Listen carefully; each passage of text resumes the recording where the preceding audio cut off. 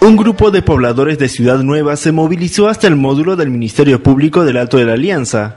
Esto en rechazo a la decisión del fiscal Edgar Zenón Laurente Mamani de aceptar la denuncia hecha por el alcalde Hugo Mita en contra de René Chura, Porfirio Choque, Víctor Choque, la regidora Susana Manuelo y el exalcalde Mario Gómez.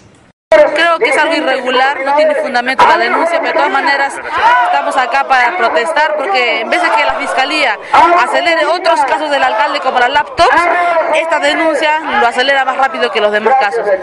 La denuncia es por una anterior manifestación de un grupo de pobladores donde presuntamente causaron disturbios, ocasionaron daños a la casa del alcalde Hugo Mita, además de arrojar basura en el frontis de la vivienda.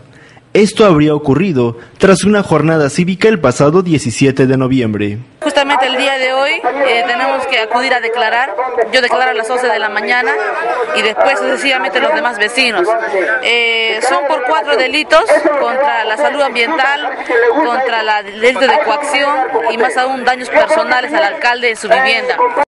Por su parte, el teniente alcalde Elmer Fernández respaldó el reclamo del grupo de acusados. Dijo además que convocará una sesión extraordinaria de consejo para que el alcalde Mita rinda cuenta de su gestión. Bueno, nosotros el día de hoy a tempranas horas hemos presentado.